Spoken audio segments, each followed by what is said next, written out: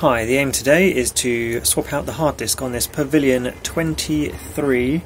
So I have a towel down here so it doesn't scratch it on the hard surface of my desk because it's literally screen straight down onto the desk. Wouldn't really be ideal to be moving that around with any of the dirt that might be on the desk or on the screen um, that could scratch it. So the specific model number 23 P030NA with a product number of J2H24EA, then a hash or a pound sign ABU. So there's not a lot to go on on this. We have two visible screws, and that is it. I will take out any USB uh, dongle that might still be left plugged in because I expect when you lift this that will uh, cause a problem if it's still plugged into the motherboard. So there's only two visible screws, which are these bottom left corner screws and right corner screws.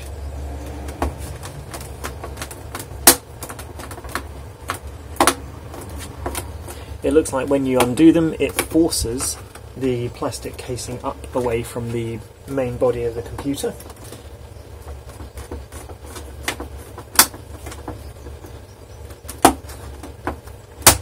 And that helps you start taking the cover off.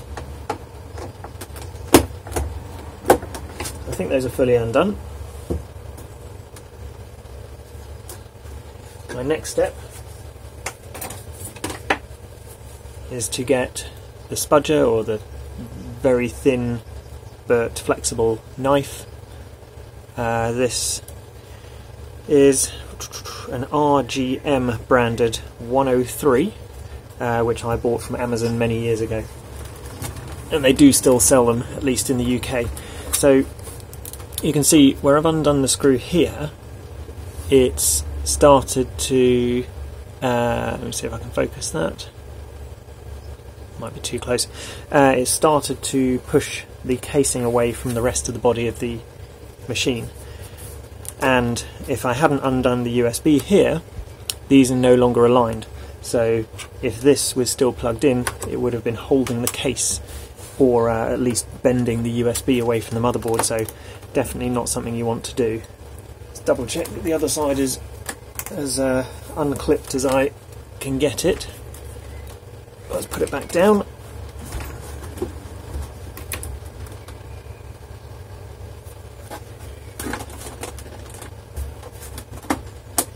I probably do need to unclip all of this part of it though.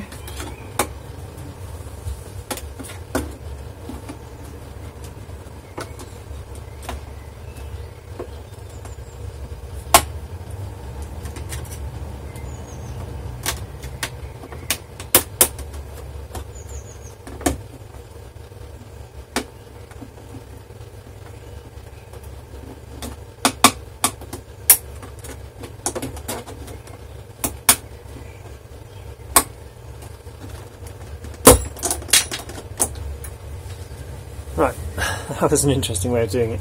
It looked like I kind of got the spudger down, wedged in, then I just kind of flexed the case, almost by mistake while moving this uh, stand, and uh, the whole thing unclipped and popped out. So now, make sure that, again, fully unscrewed there, because screws seem to have a good job of, or do a good job of, when you put it back down, without even moving the screw, they somehow kind of bite in. So I've just lifted that side up and unscrewed that, and it's now fully free and is moving. I'm going to do the same with the other side.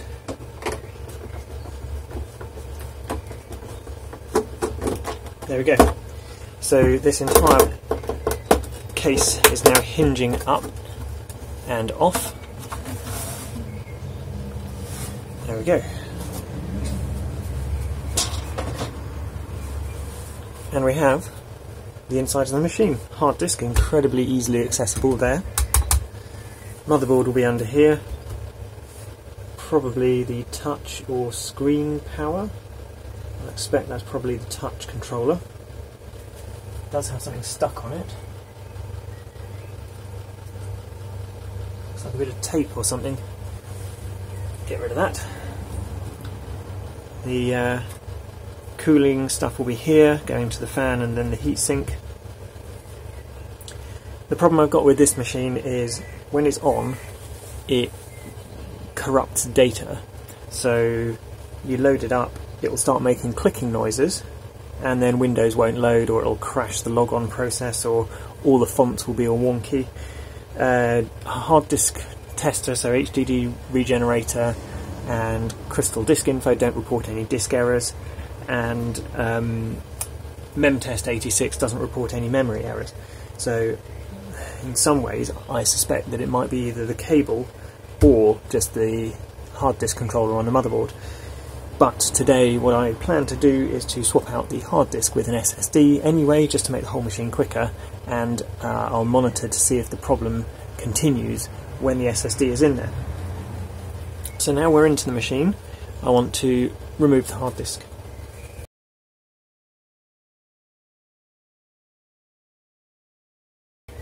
Which is also an unusual size.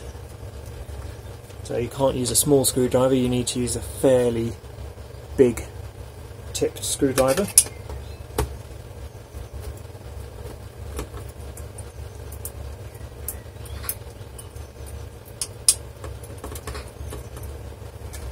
That one's a retained screw, so it doesn't fully come out, it'll just un unscrew and then become springy. These two remain screwed in because the whole thing's on a bracket. And gently pull. Uh, if you didn't do it gently, you'd end up slamming the drive over into this end stop here, potentially causing damage if you did it a bit too forcefully. And there we have the one terabyte original hard disk. And the plan here is to swap it out and then later today when some SSDs arrive, put the SSDs in.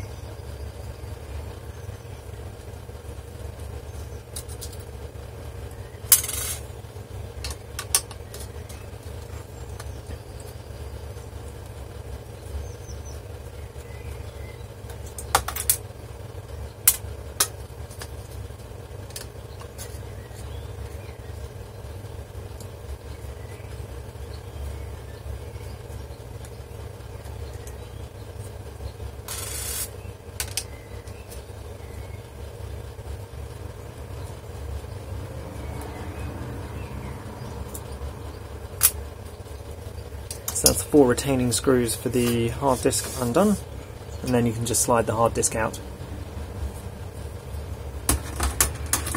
For safekeeping until later, I'll just put that back where it was.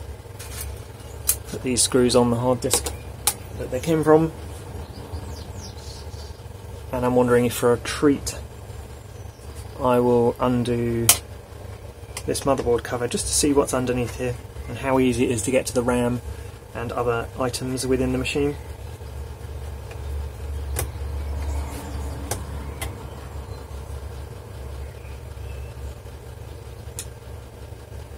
It also looks like the code name for this motherboard or this machine is Lavender.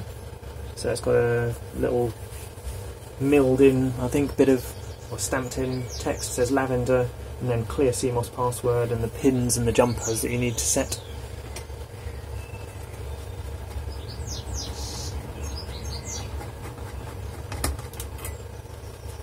So there's two screws undone here. This whole thing seems to be hinging upwards.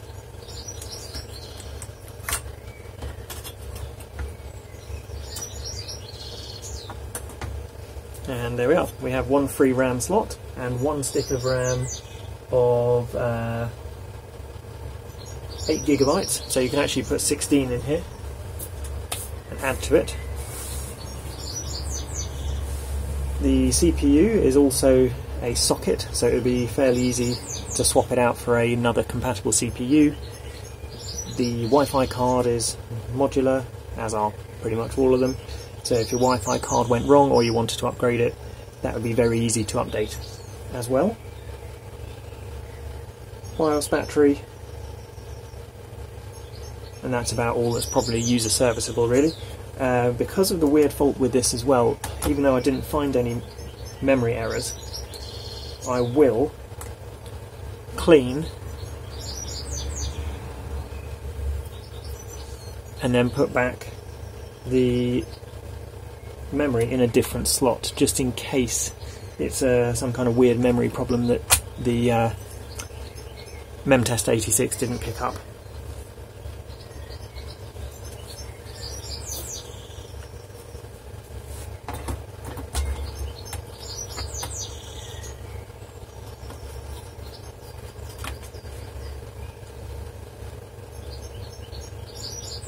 Once again, on one of these screws, some very strange tape, possibly even paint, but I don't see that that's, uh, it's definitely tape, not paint.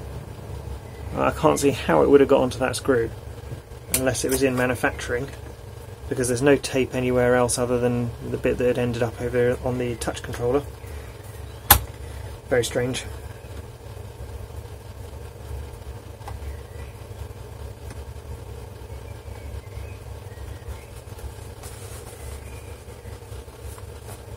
Thanks for watching, I hope this video has been helpful to you.